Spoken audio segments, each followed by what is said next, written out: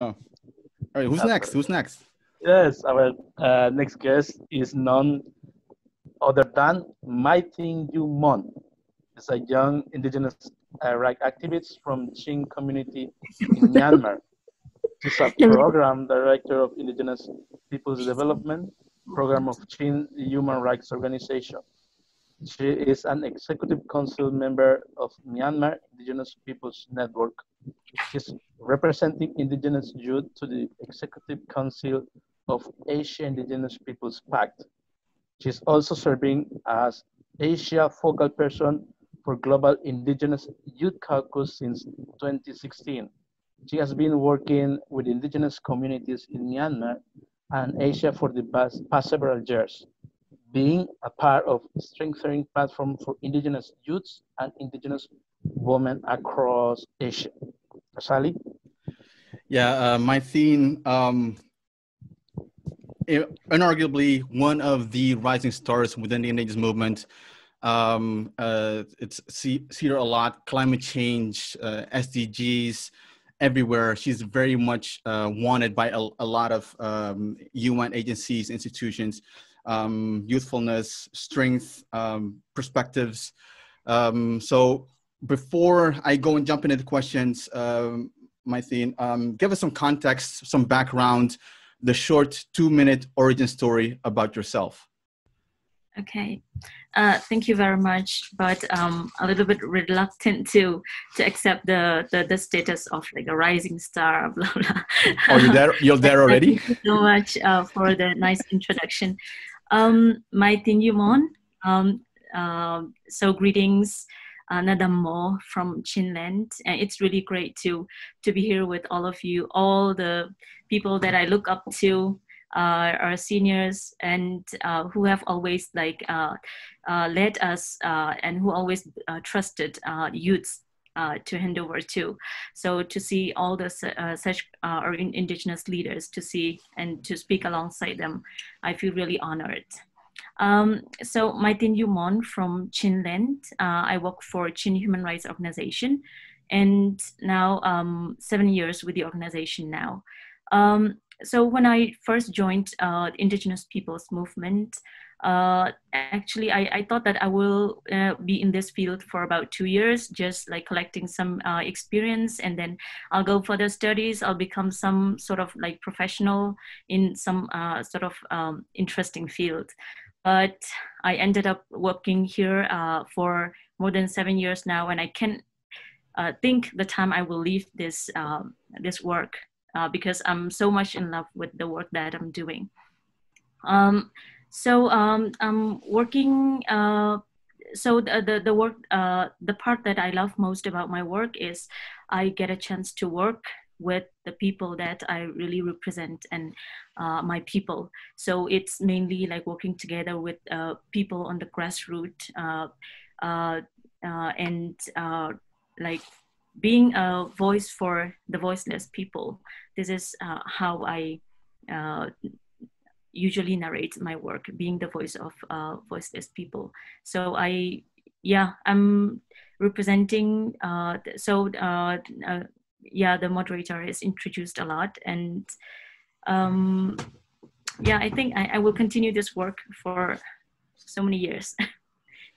Oh, uh, thank you so much. And I'm sorry to put put a lot of uh, fluff around it about like Rising Star, but um, just my observation, of course. Um, and also, thank you so much for um, yeah being being you. Um, question about like um, how much opportunity? Because yeah, you, you you are one of the if you're not Rising Star, you, you like you're, you're one of the upcoming uh, representatives um, how much opportunity do you think that the indigenous movement, the international indigenous movement, gives for the creation or training of the new leaders? Um, yeah, um, from my own experience, uh, like you said, I'm yeah. like uh, uh, stepping up uh, a bit more than like the, the usual youth I used to be uh, after joining this indigenous peoples movement. Um, so actually this indigenous peoples uh, movement gave us, especially youth like us, uh, uh so much space to grow and uh, to learn. Um, so uh, the best example that from my own experiences, so we consider now as being uh, uh part of these uh, global discussions and uh, now being getting a chance to communicate with people who have who are going through the same similar things, who are facing similar issues, and getting a chance to talk at the global level is a very big uh, power for uh, many indigenous youths and many indigenous peoples.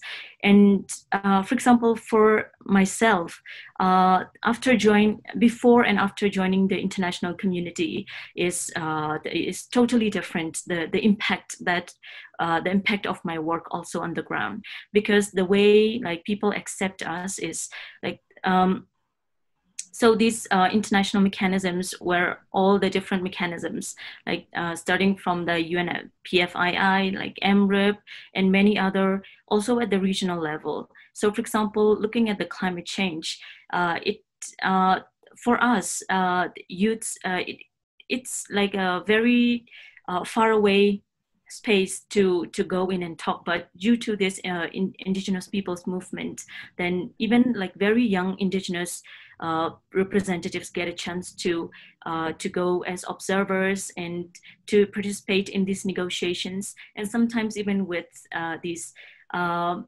uh, like uh, state representatives so it gives us the being in the process itself, I think, is a sort of empowerment for uh, many of us.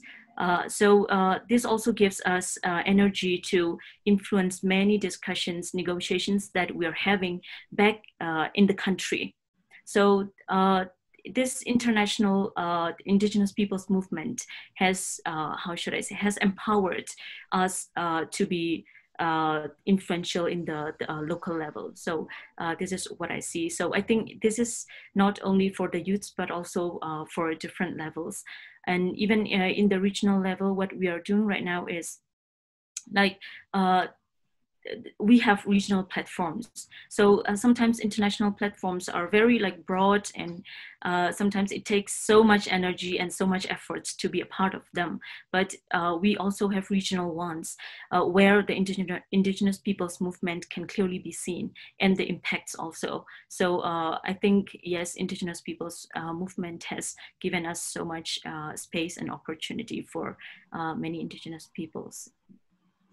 Um, can, can I? Because you also you're also involved in, for example, IFAD. Um, you're very familiar in, in that in the processes.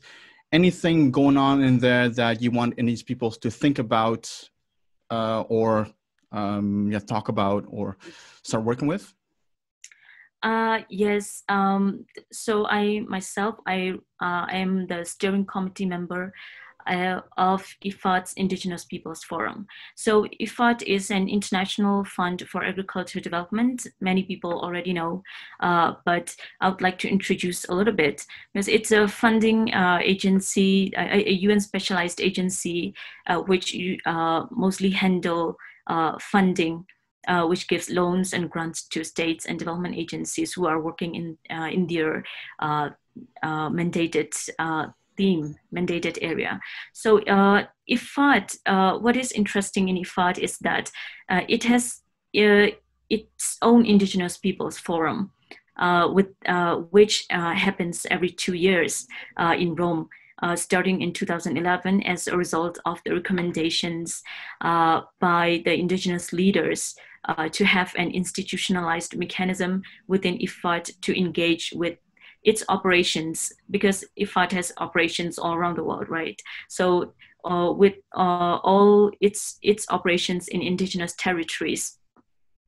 Um, so uh, IFAD gives a space and a mechanism for us to uh, to directly uh, intervene the, the, the projects funded by IFAD uh, uh, that that are operating in our uh, respective countries. Um, so um, they also have a policy on engagement with indigenous peoples. And another uh, another facility that I think it's important for Indigenous peoples to know is Indig- uh, Indigenous Peoples Assistance Facility, which is usually called IPAF.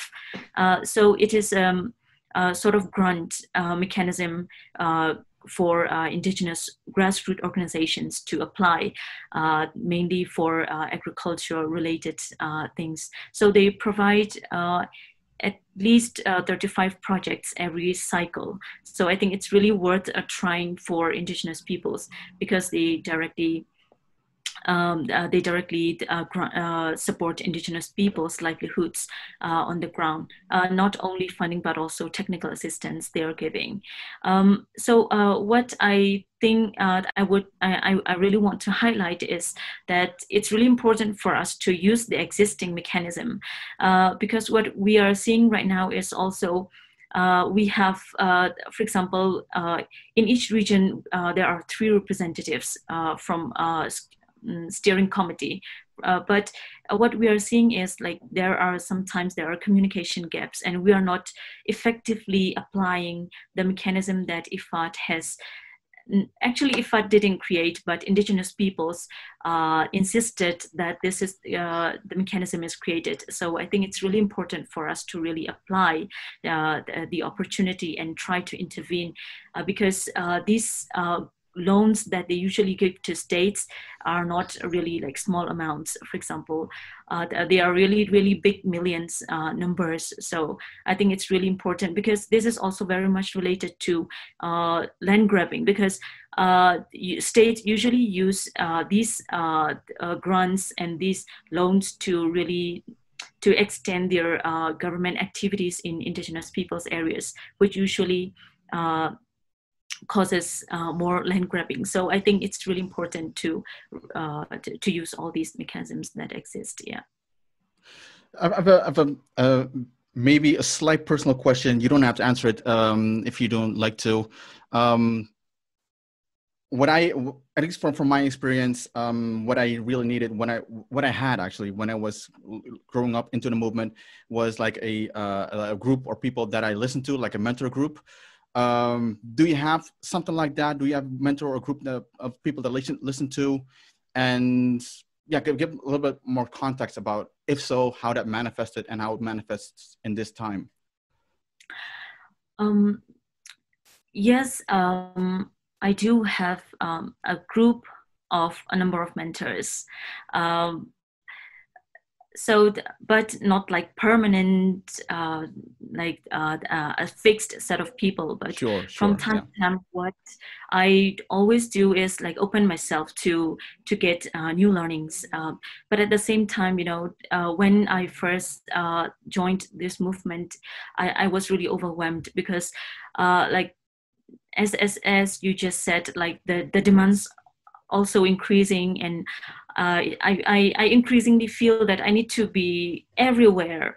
Like I need to be in the village, I need to be in the community at the same time. I need to, uh, this policy, state policy will have an impact on indigenous peoples and this meeting will happen and the international negotiations are going on. So, so many things. So there were times that I felt like I needed rest or I, I, I need someone who will tell me, you need to uh, consider doing this. This is more important in uh, like uh, we need, we always need a group of people who will show us uh, the light and who will help us uh, not to uh, lose sight of what our original aims and what are the most our, our, our priorities right so uh, the first group of mentors uh, when I joined this movement was uh, my senior colleagues because they have been in this negotiation process. They were a part of drafting this UN UNDRIP, and so they, they have uh, they already had so much experience in that, and they were the first uh, group of people who uh, who mentored me. And then when I met more people. I, I think I, I can't I, I can't even count uh, all my uh, mentors because some we meet very short time, but I do uh, so much learning from them. So uh, yeah, I do have a group of mentors, and some are in this group, in the speakers, and they know themselves. I, I'm sure. Um, yeah. so yeah. Uh, it's, it's good, because so that uh, people that um, that would like to get into the movement that that they know that there's it can be overwhelming you know? There's a lot of noise and you have to be able to listen to the signal and having a mentor group is very can be can be very helpful.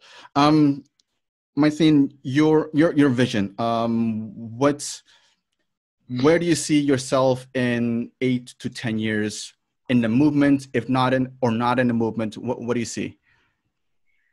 Um, um I'm sure I will still be in the movement, but the way I engage myself uh, uh, there will be a big change, uh, I'm sure, because also of uh, due to the, because many of the changes that I really want to drive is at the it, many things need to start at the local level and at the national level, and uh, sometimes it's like vice versa. Some changes we need to do at the international level, and uh, the, for example, climate change actions and all these things.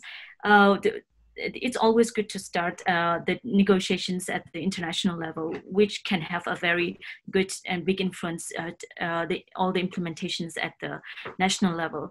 But I'm, I'm, I'm also starting to see many things that I need to start uh, doing from the local level and at the national level. And I can see myself um, now I'm, I'm also uh, doing some preparation to be in the policy making like representing my peoples and to i might be into in maybe starting in next five years i i um, I plan to, to, to be into uh, party politics and then to run election to represent my people more effectively in the um, yeah uh, in this uh, policy making uh, platform.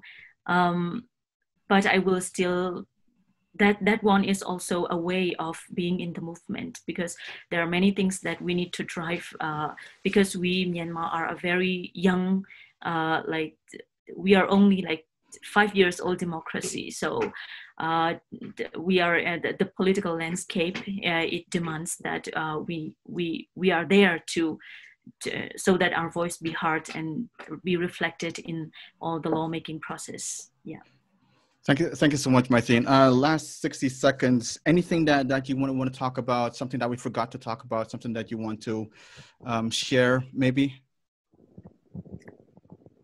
Um, because okay. definitely, definitely, um, when, whenever you're going to uh, uh, to do the, the political work, um, we will help you. Um, as the mentors, I'm sure will help you out as well. Um, yeah, any, anything that you, you still want to uh, share that I yeah, forgot to? You. Um, uh, yes. Um, uh, yeah, I think uh, it's it's always the, the the learning and you know the solidarity that we have among ourselves. Uh, whatever we are uh, in in our own local community or when we go to these international uh, um, spaces uh, where uh, it's the most important thing for us is to connect what is uh, really happening on the ground to what we are discussing at the international level. So I, I see myself more as a bridge uh, for right now to connecting all these uh, things, discussions happening at the international level and the reality uh, on the ground. So I think this is something that I would like to do uh, also more in the future.